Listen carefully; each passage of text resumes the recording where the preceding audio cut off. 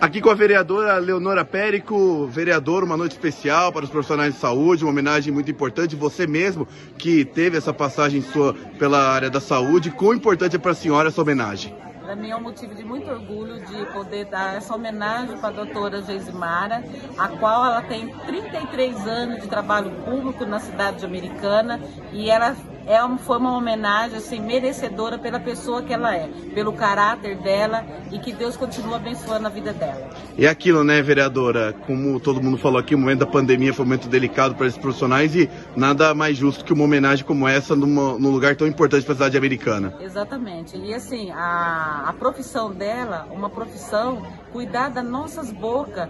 E olha como foi difícil para ela, para nós que estava ali na linha de frente, dela poder estar tá atendendo as pessoas ali no momento tão difícil que foi da pandemia.